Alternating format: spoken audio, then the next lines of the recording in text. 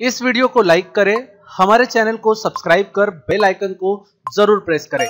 हमारे latest video सबसे पहले देखने के लिए। हेलो दोस्तों, पिछले कुछ सालों में इंडियन मार्केट में तेज रफ्तार से चलने वाली बाइक की संख्या तेज़ी से बढ़ी है। लेकिन अब एक ऐसी भी बाइक पेश करने का दावा किया गया है जो महँगे पेट्रोल से नहीं, बल्कि हवा से सफ़र तय करती है। जी हाँ बाइक की टंकी में पेट्रोल नहीं, बल्कि हवा भरी जाएगी और हवा से चलने वाली बाइक का आविष्कार कर लिया गया है और इसका सफलता पूर्वक प्रयोग भी किया जा चुका है। लखनऊ के एक वैज्ञानिक ने करीब नौ साल पहले एक एयर इंजन का आविष्कार किया था, जो अब एरो बाइक का रूप ले चुकी है। और इस आविष्कार के पीछे बढ़ रही ग्लोबल वार्मिंग की समस्या थी। साथ ही आम आदमी की जेब पर भी कम खर्च आएगा। एरो बाइक को तैयार करने वाले वैज्ञानिक मानते हैं कि इस बाइक से ईंधन की बचत तो होगी ही, साथ ही ग्लोबल वार्मिंग की समस्या से भी बचा जा सकता है। यूपी राजकीय निर्माण निगम में मुख्य महाप्रबंधक रहे भारत राज सिंह ने हवा से एनर्जी तैयार करने वाले इस इंजन को तैयार करने में अहम भूमिका अदा की है। बी आर सिंह इस समय एक इंजीनियरिंग कॉलेज में एसोसिएट डायरेक्टर है और उन्होंने कहा है कि उनका ये आविष्कार जब सड़क पर आएगा तो प्रदूषण पर 50 फ़ीसदी तक लगाम लगाई जा सकेगी। आविष्कार का मुख्य उद्देश्य गाड़ियों के पेट्रोल, डीजल के इंजन को बदलकर उनमें हवा से चलने वाले इंजन को लगाने का है और इस इंजन का खर्च भी बहुत कम आएगा। उन्होंने बताया है कि उन्होंने खुद एल्यूमिनियम का सिलेंडर बनाकर इसे एरो बाइक में लगाया है और इस प्रयोग में सबसे पहले टू व्हीलर को इस्तेमाल किया गया है और टू व्हीलर में एयर इंजन लगाने से